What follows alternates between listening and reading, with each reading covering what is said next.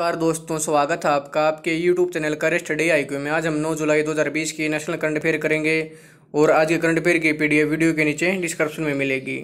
महाराज, का पहला प्रश्न है, हाल ही में भूमिहीन किसानों को फ़सल ऋण देने के लिए किस राज्य सरकार ने बलराम योजना शुरू की? है प्रश्न है, पंजाब सरकार उड़ीसा सरकार, गोवा सरकार, असम सरकार? इसका सही आंसर है उड़ीसा सरकार ने। भूमिहीन किसानों को फ़सल ऋण देने के लिए उड़ीसा सरकार ने बलराम योजना शुरू की है। नई योजना के तहत भूमिहीन कृषकों को संयुक्त देयता समूहों के माध्यम से ऋण मिलेगा।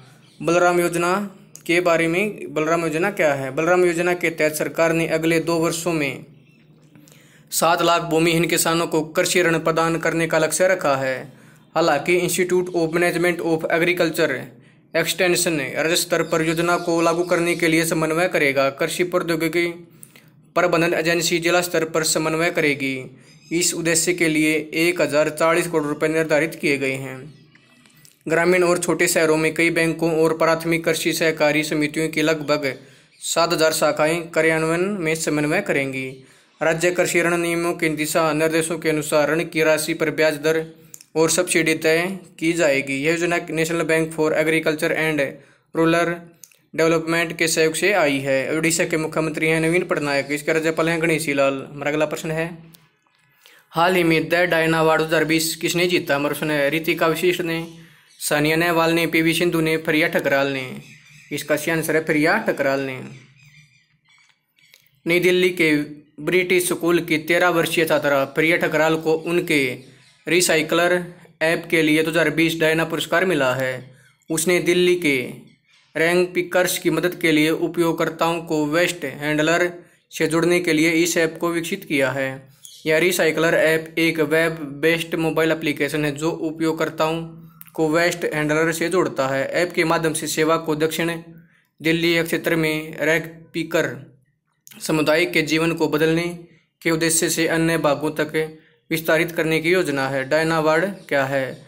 डायना पुरस्कार की शुरुआत उन्नीस सौ निन्यानवे में यूनाइटेड किंगडम और दुनिया भर में युवाओं को, युवाओं के सामाजिक कार्यों और मानवीय प्रयासों को पहचानने के लिए जय कुमारी डायना की याद में की गई थी। यह पुरस्कार एक जुलाई को राजकुमारी डायना की जयंती के उपलक्ष्य में दिया जाता है। हमारा अगला प्रश्न है, हाल ही में किस देश के प्रधानमंत्री एंड्रॉयड फिलिप ने अपने पद से इस्तीफा दिया? हमारा प्रश्न है, रूस, आयरलैंड, फ्रांस, नेपाल। इसका सही आंसर है फ्रांस। फ्रांस के प्रधानमंत्री एंड्रॉयड फिलिप ने राष्ट्रपति एमेनुअल मैक्रोन द्वारा सरकार में फेर बदल की करने की संभावनाओं के चलते अपने पद से इस्तीफा दे दिया है। फ्रांसीसी प्रेसिडेंसी द्वारा की गई घोषणा के अनुसार एंड्रॉयड फिलिप अब नए कैबिनेट के गठन तक सरकारी मामलों का कार्यभार संभालेंगे। यह राष्ट्रपति एनुअल मैक्रोन की योजनाओं का एक हिस्सा है ताकि वह अपनी ग्रीन साख को मज़बूत कर सकें और फिर से होने वाले संभावित चुनाव से पहले अपनी केंद्र सरकार को पुनर्जीवित कर सकें। वह अपने कार्यकाल के शेष दो वर्षों में फ्रांसीसी अर्थव्यवस्था को कोविड नाइन्टीन संकट से मुक्त करने के प्रयासों पर ध्यान केंद्रित करने की योजना, बढ़ावा देने के लिए योजना बना रही हैं। फ्रांस की राजधानी है पेरिस, इसके राष्ट्रपति हैं एनुअल मैक्रोन। अगला प्रश्न है, हाल ही मेरा अंतर्राष्ट्रीय सहकारिता दिवस कब बनाया गया? मेरा प्रश्न चार जुलाई, पाँच जुलाई छः जुलाई, सात जुलाई। इसका सही आंसर है, चार जुलाई को। प्रत्येक वर्ष जुलाई के पहले शनिवार को संयुक्त राष्ट्र सहकारिता के बारे में जागरूकता बढ़ाने के लिए अंतर्राष्ट्रीय सहकारिता दिवस मनाता है। इस वर्ष दो हज़ार बीस में जलवायु परिवर्तन से निपटने के लिए सहकारी समितियों के योगदान पर ध्यान केंद्रित करते हुए चार जुलाई को अंतर्राष्ट्रीय सहकारी सहकारिता दिवस मनाया जा रहा है। यूएन ने अंतर्राष्ट्रीय सहकारिता दिवस दो हज़ार बीस मनाने के लिए कोप फॉर क्लाइमेट एक्शन मुहिम भी चला रही है। संयुक्त राष्ट्र अंतर्राष्ट्रीय सहकारिता दिवस उन्नीस से जुलाई के पहले शनिवार को हर साल मना रहा है। इसके माध्यम से नागरिक अपन, उनके समुदाय और राष्ट्र की राजनीतिक उन्नति के लिए आर्थिक, सामाजिक, सांस्कृतिक योगदान देकर अपने जीवन को बेहतर बना सकते हैं। सहकारिता दुनिया भर में दो सौ अस्सी मिलियन लोगों को रोज़गार देती है, जो दुनिया की नियोजित जनसंख्या का दस परसेंट है। संयुक्त राष्ट्र के महासचिव एंटोनियो गुटेरस। मेरा अगला प्रश्न है, हाल ही में भारतीय राष्ट्रीय राजमार्ग प्राधिकरण के अध्यक्ष सुखबीर सिंह संधू का कार्यकाल कितने समय के लिए बढ़ाया गया? मतलब तीन तीन महीने छः महीने आठ महीने, दस महीने। इसका सही आंसर है छः महीने के लिए। भारतीय राष्ट्रीय राजमार्ग प्राधिकरण के अध्यक्ष के रूप में सुखबीर सिंह सिंधु के कार्यकाल का विस्तार कैबिनेट की नियुक्त समिति द्वारा अनुमोदित किया गया है। उनका कार्यकाल इक्कीस जुलाई 2020 से 21 जनवरी 2021 तक छः महीने की अवधि के लिए बढ़ा दिया गया है। सुखबीर सिंह संधू, उत्तराखंड केंद्र के उन्नीस बैच के आईएएस अधिकारी हैं। उन्होंने अक्टूबर 2019 में भारतीय राष्ट्रीय राजमार्ग प्राधिकरण के अध्यक्ष के रूप में कार्यभार संभाला है। अगला प्रश्न है, हाल ही में ड्रग डिस्कवरी हेक्थान 2020 किसने शुरू किया? हमारे सुने doctor Harshvardhan, Ramesh Pokhriyal Nishank, Amit Shah, A and B दोनों। इसका सी आंसर है ए एंड बी दोनों। ड्रग डिस्कवरी एक्थान को केंद्रीय मानव संसाधन विकास मंत्री श्री रमेश पोखरियाल निशंक और केंद्रीय स्वास्थ्य और परिवार कल्याण और विज्ञान और प्रौद्योगिकी मंत्रालय के मंत्री डॉक्टर हर्षवर्धन द्वारा लॉन्च किया गया है। एक्थान M H R D A I C T E and C S I R की एक संयुक्त पहल है और C D A C my government S C H O R D I N G R and C H E M ऑक्जोम जैसे भागीदारों द्वारा समर्पित समर्थित है। ड्रग डिस्कवरी अक्थान अपनी तरह की पहली राष्ट्रीय पहल है, जो दवा की खोज प्रक्रिया का समर्थन करने के लिए शुरू की गई है। इसके माध्यम से सरकार अंतर्राष्ट्रीय प्रतिभाओं को आकर्षित करने की योजना भी बना रही है, क्योंकि यह योजना दुनिया भर के पेशेवरों, शाखाओं शोधकर्ताओं और विभिन्न क्षेत्रों जैसे कंप्यूटर विज्ञान, चिकित्सा विज्ञान, रसायन विज्ञान फार्मेसी, बुनियादी विज्ञान और जैव प्रौद्योगिकी से दुनिया भर से भागीदारी के लिए खुला है। एक दवा की खोज प्रक्रिया में तेज़ी लाने के लिए नए मॉडल की स्थापना में भारत का समर्थन करेगा। हमारा अगला प्रश्न है, हाल ही में central bank and supervisors network for greening financial system को किस बैंक ने एक पर्यवेक्षक के रूप में शामिल किया? हमारा प्रश्न Punjab national bank, reserve bank of India, एशियाई विकास बैंक, इनमें से कोई नहीं।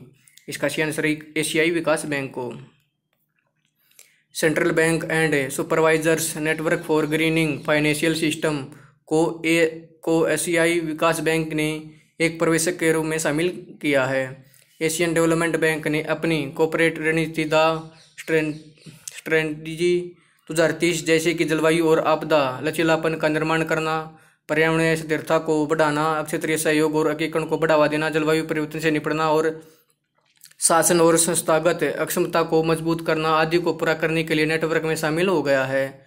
इसके साथ एडीबी अंतर्राष्ट्रीय मुद्रा कोष, आर्थिक सहयोग संगठन और विकास विश्व बैंक और एन जी एफ़ एस प्रवेशकों के रूप में अंतर्राष्ट्रीय वित्त निगम के रैंक में शामिल हो गया है।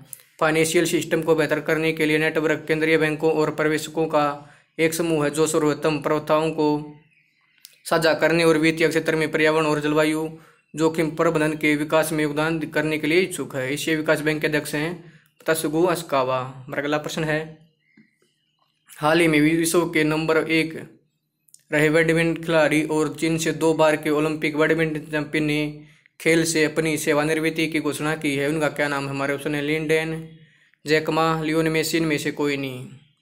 इसका सी आंसर है लिंडेन विश्व के नंबर एक नंबर एक रही बैडमिंटन खिलाड़ी और चीन से दो बार के ओलंपिक बैडमिंटन चैंपियन लिंडेन ने खेल से अपनी सेवानिवृत्ति की घोषणा की है। उन, अपने 20 साल के अंतर्राष्ट्रीय टीम के करियर के दौरान उन्होंने 2008 में बीजिंग और 2012 के लंदन खेलों में ओलंपिक एकल खिताब जीते थे।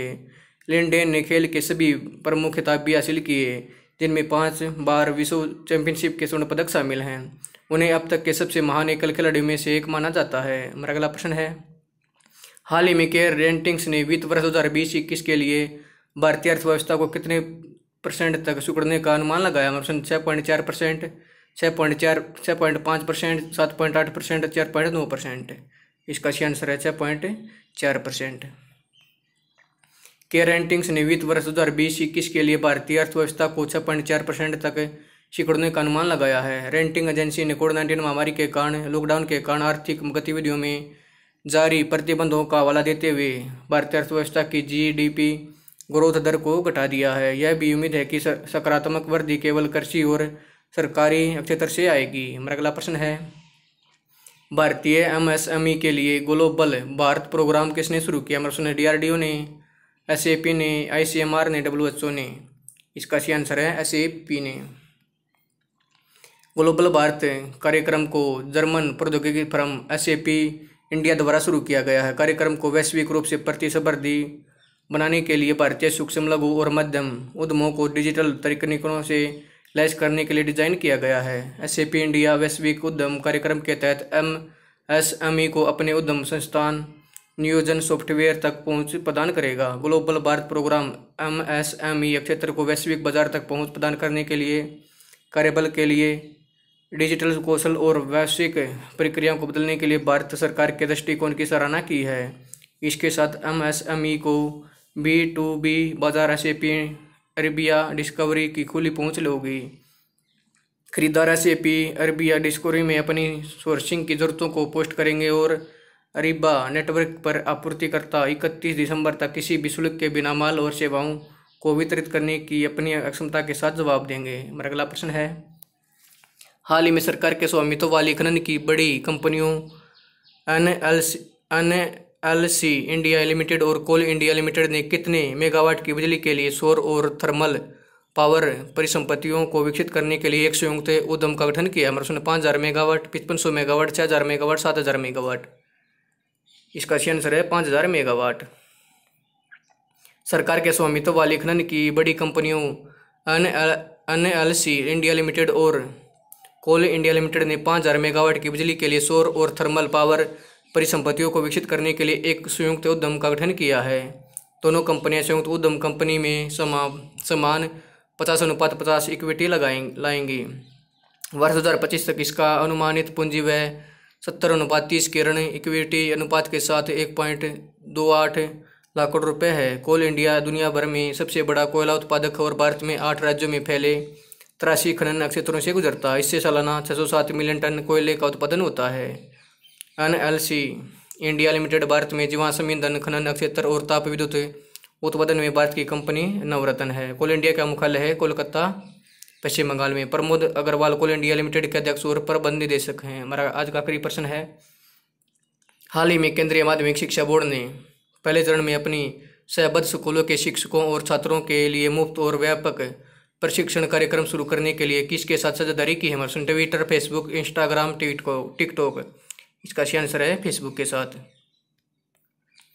केंद्रीय माध्यमिक शिक्षा बोर्ड ने पहले चरण में अपने सबद्ध स्कूलों के शिक्षकों और छात्रों के लिए मुफ़्त और व्यापक प्रशिक्षण कार्यक्रम शुरू करने के लिए फेसबुक के साथ साझेदारी की है। कार्यक्रम डिजिटल सुरक्षा और ऑनलाइन कल्याण पर सौर समर्थित वास्तु, वास्तविकता और छात्र परीक्षण पर शिक्षक परीक्षण को कवर करेगा। प्रशिक्षण कार्यक्रम तीन सप्ताह के लिए होगा, जिसमें दस हज़ार शिक्षकों को संवर्धित वास्तविकता पर प्रशिक्षित किया जाएगा, जबकि दस हज़ार छात्रों को डिजिटल सुरक्षा और कल्याण पर प्रशिक्षित किया जाएगा। दूसरे चरण में सीबीएसई प्रत्येक श्रेणी में तीस हज़ार छात्रों के लिए डिजिटल सुरक्षा और संवर्धित वास्तविकता पर प्रशिक्षण पर कार्यक्रम पेश करेंगे। स्कूलों को प्रशिक्षण कार्यक्रम के लिए अपने शिक्षकों और छात्रों को ऑनलाइन नामांकित करना होगा। सीबीएसई के अध्यक्ष हैं मनोज आयुजा इसका मुख्यालय नई दिल्ली में, इसकी स्थापना तीन नवंबर उन्नीस सौ पैंसठ को हुई थी। दोस्तों, अगर आपको वीडियो पसंद आए तो मेरे यूट्यूब चैनल कर स्टडी आई को लाइक करें शेयर करें और इस चैनल को सब्सक्राइब करें और इसके बेल आइकन को दबा दें ताकि आने वाले वीडियो का नोटिफिकेशन आपको टाइम पे मिलता रहे। धन्यवाद दोस्तों।